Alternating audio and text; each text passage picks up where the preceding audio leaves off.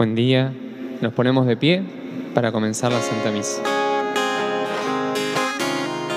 Somos un pueblo que camina y juntos caminando podremos alcanzar otra ciudad que no se acaba sin penas ni tristeza, ciudad de eternidad. Somos un pueblo que camina, que marcha por el mundo buscando otra ciudad.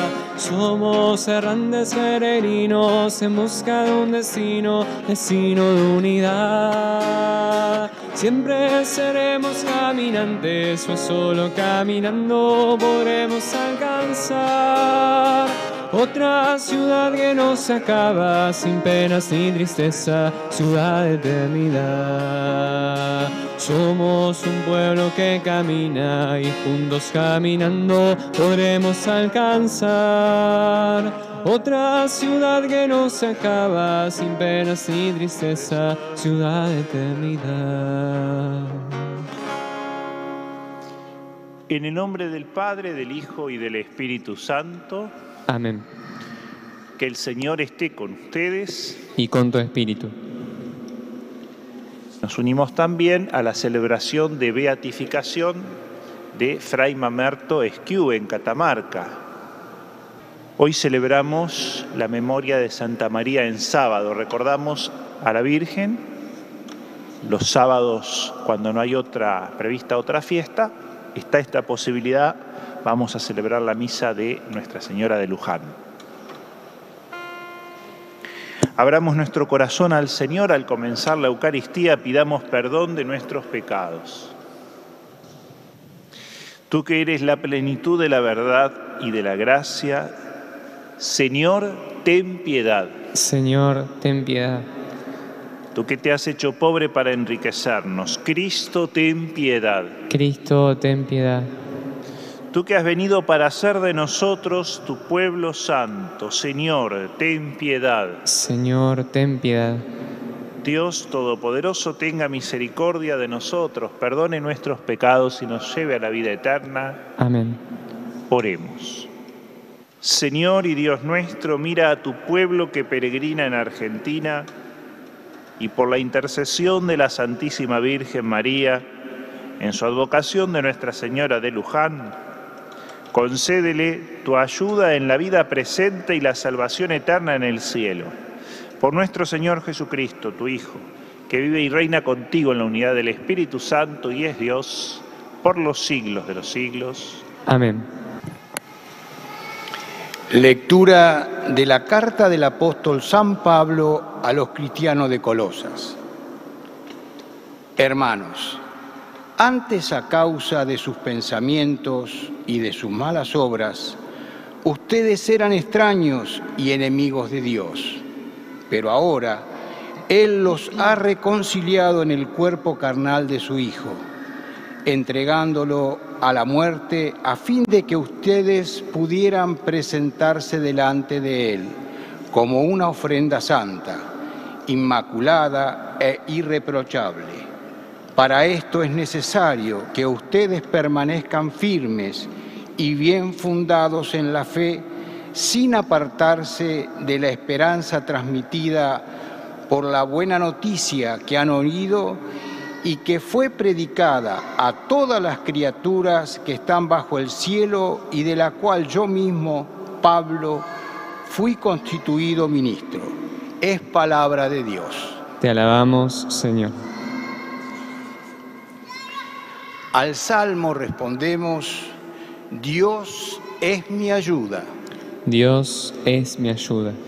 Dios mío, sálvame por tu nombre, defiéndeme con tu poder. Dios mío, escucha mi súplica, presta atención a las palabras de mi boca. Dios, es mi ayuda. Es mi ayuda. Dios es mi ayuda. El Señor es mi verdadero apoyo. Te ofreceré un sacrificio voluntario, daré gracias a tu nombre porque es bueno. Dios, es, mi ayuda. Nos ponemos de pie para escuchar la proclamación del Evangelio.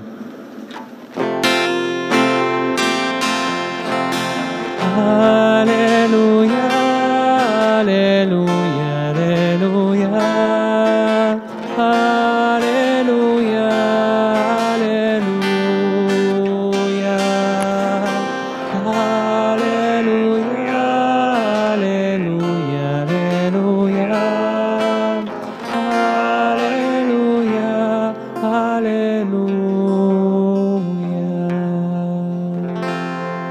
Yo soy el camino, la verdad y la vida. Nadie va al Padre sino por mí, dice el Señor. Aleluya, aleluya.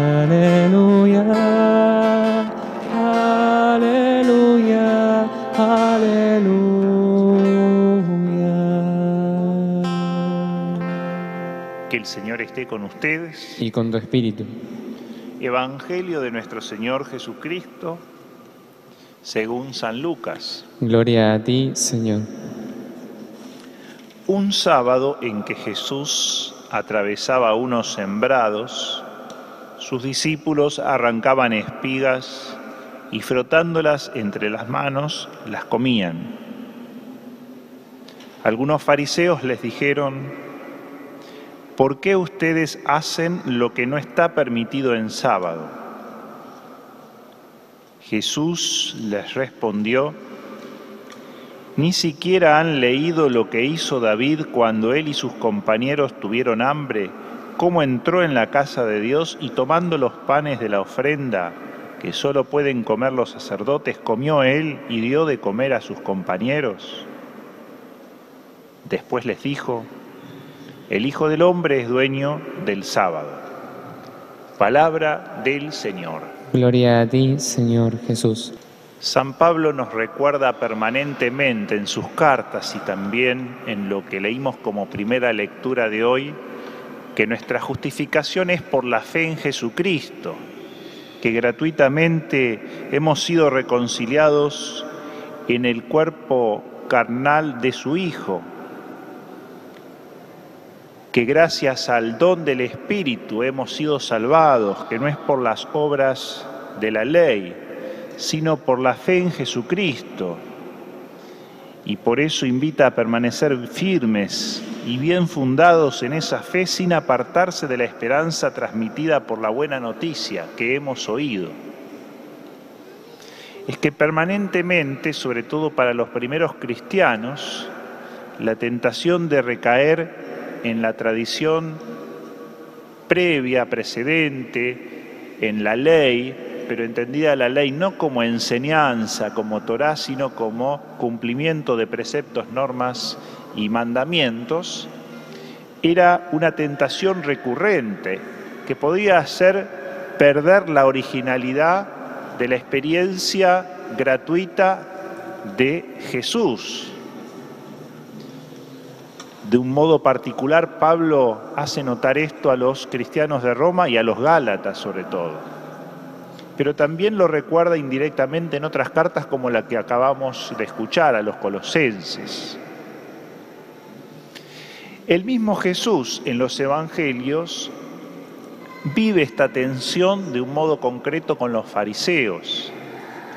Los fariseos eran laicos piadosos que cuando el templo había sido destruido, habían salvaguardado la fe de Israel, incluso la identidad nacional de, su pueblo, del pueblo de la primera alianza, en torno al culto sinagogal, a la lectura de la ley de la Torá, pero también con una interpretación progresivamente asfixiante, muy juridicista, muy legalista, que hacía muchas veces perder de vista su núcleo original, lo más genuino, de tal manera que Jesús va a decir que muchas veces cuelan el mosquito y se tragan el camello.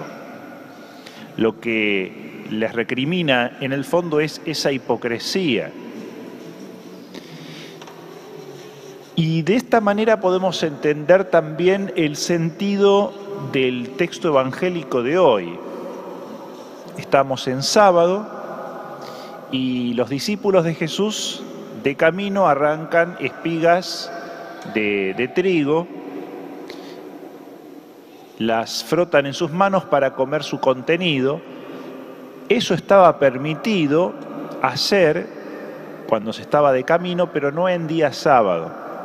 Lo que se le recrimina a los discípulos de Jesús no es que tomen espigas de un campo de paso, ya que eso no se consideraba robo siempre cuando fuese para alimentarse en el momento de camino, no para llevarse a casa.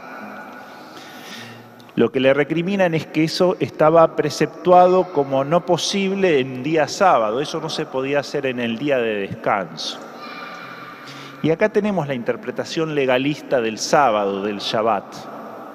Porque en realidad cuando miramos el origen del Shabbat, Dios descansa cuando ve que toda la creación está muy bien, después de haber creado al hombre, varón y mujer, dice, vio que era muy bueno y entonces pudo descansar. Pero la realidad es que muchas veces la creación no está muy bien. El ambiente humano, social o el medio ambiente, la ecología natural, dejan que desear, no están bien las cosas. La creación sufre, la casa común sufre y también sufre el hombre. Sufre enfermedades o sufre hambre, que es el caso del texto de hoy. Por eso es que Jesús, para cumplir el Shabbat, el día de descanso, trabaja. Y dice además, mi Padre trabaja el día sábado. Trabaja para que la creación y el hombre entren en su descanso, para que Dios pueda descansar. Si las cosas no están muy bien, trabaja para que estén mejor y entonces para que la creación así entre en su descanso, para que el hombre entre en el descanso de Dios. Y da un ejemplo. El mismo David, cuando huía de David, de Saúl, en el santuario de Nod, pidió de comer a los sacerdotes y el único pan que había eran panes de la propiciación, panes consagrados, y comió de eso aunque eso no estaba permitido. Es un ejemplo bíblico. Por eso termina sentenciando, el Hijo del Hombre es dueño del sábado. En realidad, el sábado, mirado desde esta perspectiva, es para que la creación entre en su reposo, entonces es para que el hombre recupere su dignidad. Es un día de misericordia, un día de sanación. Lo que era el sábado para los judíos, para nosotros es el domingo, el día de la resurrección del Señor. No hay que entender el descanso como un no hacer nada, sino justamente que todas las dimensiones de lo humano y de la creación entren en armonía, sintonicen y confluyan armónicamente. Y eso necesita muchas veces de un trabajo nuestro, de una actividad nuestra. El descanso no es no hacer nada, sino integrar las cosas plenamente. Ese es el sentido del shalom, de la paz, tan asociado al Shabbat hebreo. En este sentido, entonces, lo que Jesús hace, o en este caso lo que Jesús defiende en torno a lo que hacen sus discípulos de comer, es promover el descanso sabático, es promover que la persona y la creación entren en su reposo para que Dios pueda descansar. La fe nos da esta mirada como más amplia que nosotros asociamos a la Eucaristía. Eucaristía quiere decir acción de gracias y supone una mirada de los acontecimientos agradecida. Nosotros celebramos justamente la Eucaristía, sobre todo el día de descanso, el día del Señor, el domingo. Para celebrar la Eucaristía, la creación tiene que estar en reposo. Las personas tienen que vivir de acuerdo a su dignidad. La naturaleza tiene que respirar paz. Si esto no se da, no se puede celebrar la Eucaristía. No se puede celebrar la acción de gracias, no se puede vivir con gratitud. Por eso tenemos que trabajar para que lleguemos al domingo agradecidos, para que las cosas estén muy bien y, podemos, podamos descansar con paz, para que podamos tener una mirada agradecida sobre la creación, para que Dios pueda tener esta mirada de gratitud. Y este es el verdadero entonces día del Señor. Esto significa que el Hijo del Hombre es dueño del sábado. Si nos quedamos a mitad de camino, nos quedamos simplemente en las obligaciones, en los, preceptos, en los mandamientos. Eso es insuficiente. No terminamos de ver la gratuidad de la fe, el don de la fe. Volvemos a recaer en la ley antigua, lo que le pasaba a los primeros cristianos y que San Pablo les criticaba. Incluso les llevaba a decir tontos, ¿eh? vuelven para atrás. En dos o tres oportunidades a los cristianos de Galacia les dice incluso algo más fuerte que eso. Como si dijéramos idiota. Como que no entienden, ¿eh? anoetos, ¿eh? como que no, no, tienen cabeza, no se dan cuenta.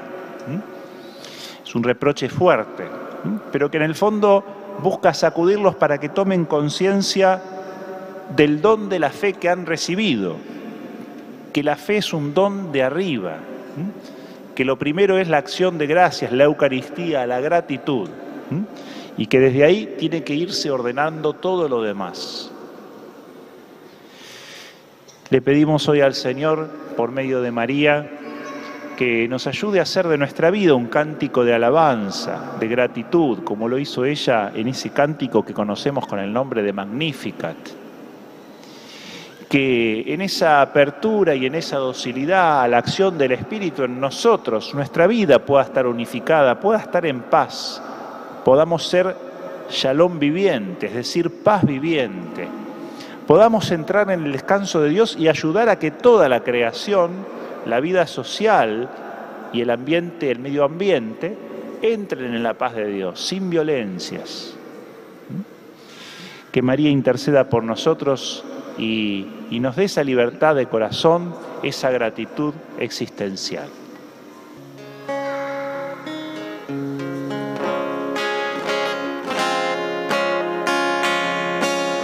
Sé como el grano de trigo que cae en tierra y desaparece.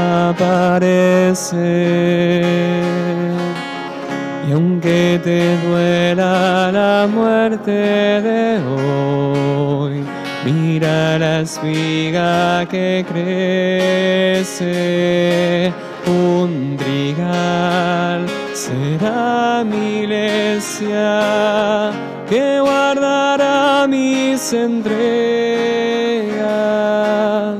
fecundadas por la sangre de aquel que dio su vida por ella, ciudad nueva del amor, donde vivirá el pueblo que en los brazos de su dueño nació, sostenido en un madero, sé como el grano de trigo que cae en tierra y desaparece. Y aunque te duela la muerte de hoy, mira la espiga que crece. Oren hermanos y hermanas para que este sacrificio mío y de ustedes sea agradable a Dios Padre Todopoderoso. El Señor reciba de tus manos este sacrificio para alabanza y gloria de su nombre, para nuestro bien y de toda su santa iglesia.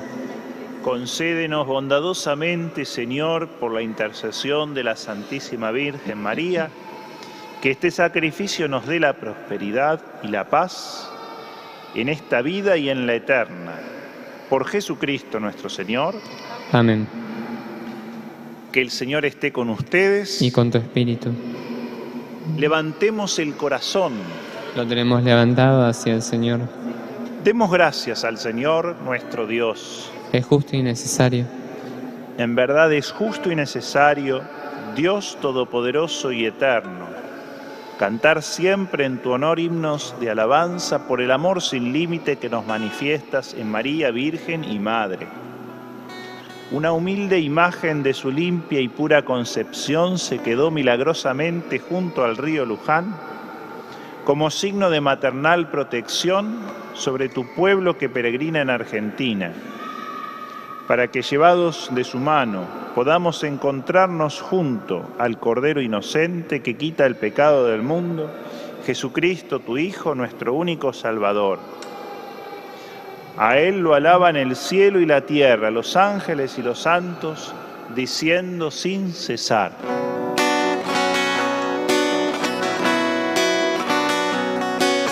Santo, santo, santo, santo es el Señor, Dios del universo, santo es el Señor. Santo, santo, santo, santo es el Señor. Dios del universo, santo es el Señor. Osana en el cielo, Osana en las alturas, bendito el que viene en nombre del Señor. Osana en el cielo, Osana en las alturas, bendito el que viene en nombre del Señor. Santo eres en verdad, Señor, fuente de toda santidad. Los que podemos nos ponemos de rodillas. Por eso te pedimos que santifiques estos dones con la efusión de tu Espíritu, de manera que se conviertan para nosotros en el cuerpo y la sangre de Jesucristo nuestro Señor.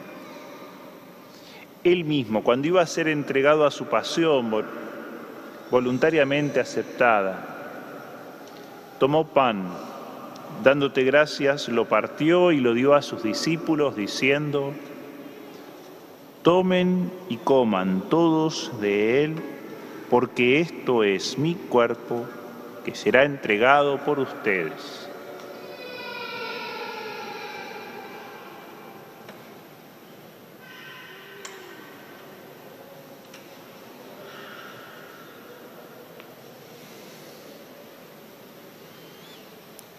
Del mismo modo, acabada la cena, tomó el cáliz y dándote gracias de nuevo, lo pasó a sus discípulos diciendo,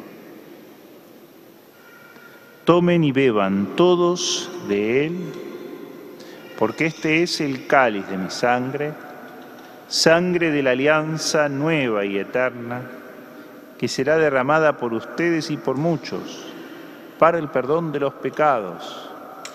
Hagan esto en conmemoración mía.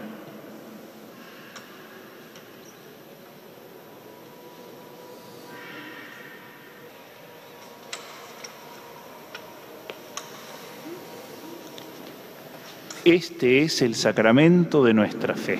Anunciamos tu muerte, proclamamos tu resurrección. Ven, Señor Jesús. Así, Padre, al celebrar ahora el memorial de la muerte y resurrección de tu Hijo, te ofrecemos el pan de vida y el cáliz de salvación y te damos gracias porque nos haces dignos de servirte en tu presencia.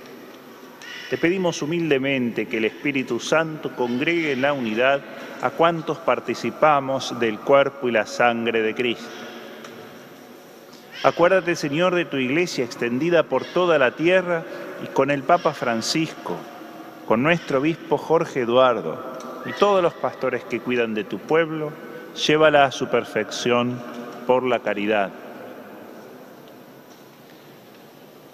Acuérdate también de nuestros hermanos que se durmieron en la esperanza de la resurrección y de todos los que han muerto en tu misericordia, admítelos a contemplar la luz de tu rostro ten misericordia de todos nosotros. Y así con María la Virgen, Madre de Dios, San José su esposo, los apóstoles, el beato Fray Mamerto Esquiú y cuantos vivieron en tu amistad a través de los tiempos, merezcamos por tu Hijo Jesucristo compartir la vida eterna y cantar tus alabanzas por Cristo, con Él y en Él, a ti, Dios Padre Omnipotente, en la unidad del Espíritu Santo, todo honor y toda gloria por los siglos de los siglos. Amén. Recemos con humildad y confianza diciendo, Padre, nuestro que estás en el cielo, santificado sea tu nombre, venga a nosotros tu reino hágase tu voluntad en la tierra como en el cielo. Danos hoy nuestro pan de cada día. Perdona nuestras ofensas, como también nosotros perdonamos a los que nos ofenden. No nos dejes caer en la tentación y líbranos del mal. Líbranos de todos los males, Señor, y concédenos la paz en nuestros días para que ayudados por tu misericordia vivamos siempre libres de pecado y protegidos de toda perturbación, mientras esperamos la gloriosa venida de nuestro Salvador Jesucristo. Tuyo el poder y la gloria por siempre, Señor. Señor Jesucristo, que dijiste a tus apóstoles, la paz les dejo, mi paz les doy no tengas en cuenta nuestros pecados, sino la fe de tu iglesia, y conforme a tu palabra concédele la paz y la unidad, tú que vives y reinas por los siglos de los siglos. Amén. Que la paz del Señor esté con todos ustedes. Y con tu espíritu. Nos expresamos fraternalmente la paz. Cordero de Que quitas el pecado del mundo, ten piedad de nosotros, ten piedad de nosotros,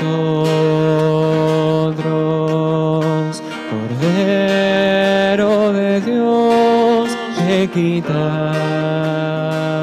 el pecado del mundo. Ten piedad de nosotros, ten piedad de nosotros,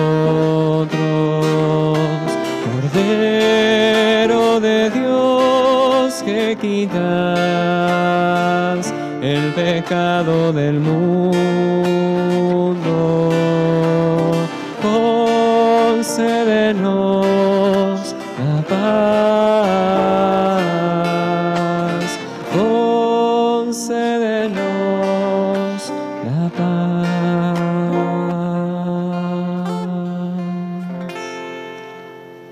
Este es Jesús, el Cordero de Dios, que quita el pecado del mundo. Felices los invitados al banquete del Señor. Señor, no soy digno de que entres en mi casa, pero una palabra tuya bastará para sanarme.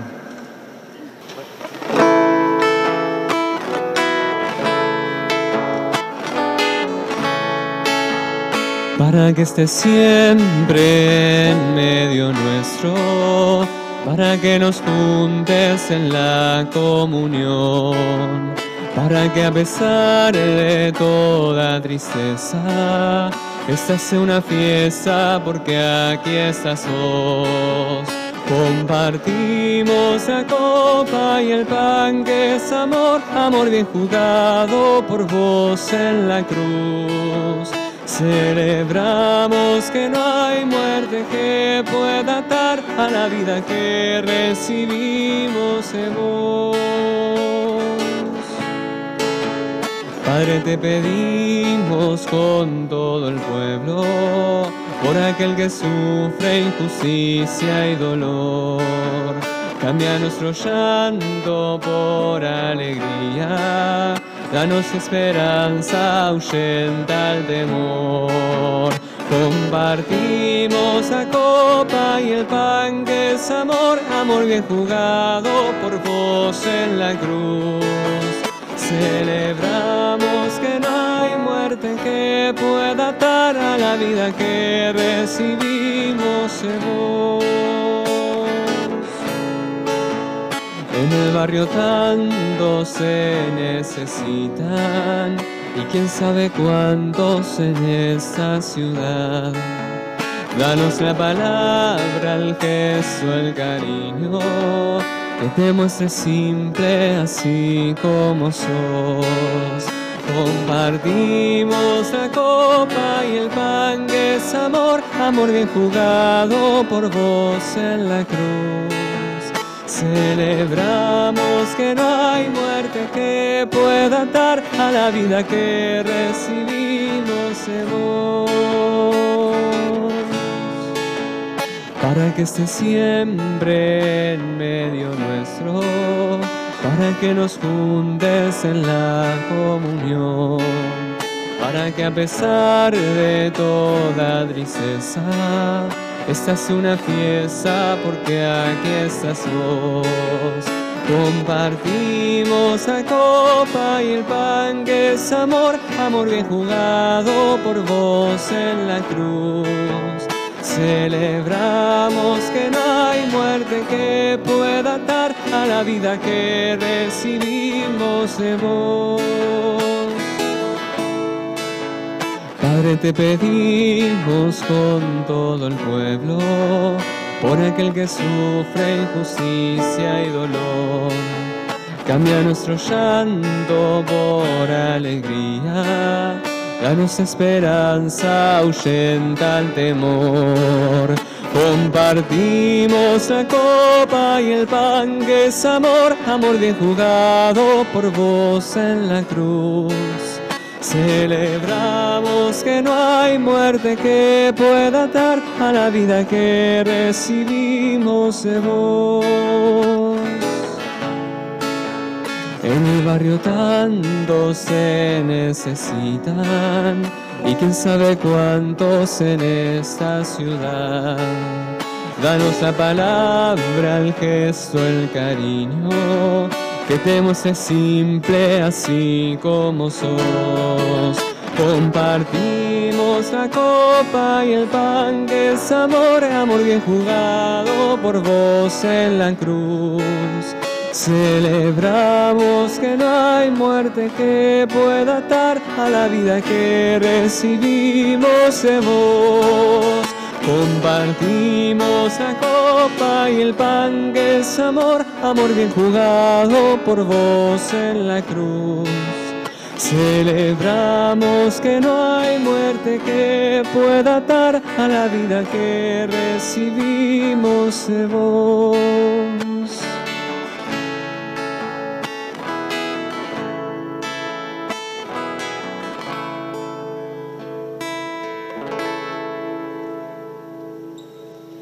Oremos. Alimentados, Padre, con este sacramento de nuestra salvación, te pedimos que experimentemos siempre la protección de la Santísima Virgen María, en cuyo honor te hemos ofrecido este sacrificio. Por Jesucristo nuestro Señor. Amén. Que el Señor esté con ustedes. Y con tu espíritu. Que la bendición de Dios Todopoderoso, Padre, Hijo, y Espíritu Santo descienda sobre ustedes y permanezca para siempre. Amén. Podemos permanecer en paz. Demos gracias a Dios.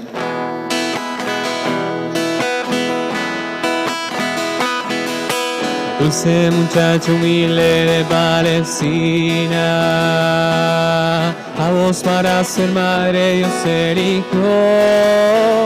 Y cuando desde el cielo te mando un ángel para pedir tu consentimiento, vos le dijiste de esclava soy.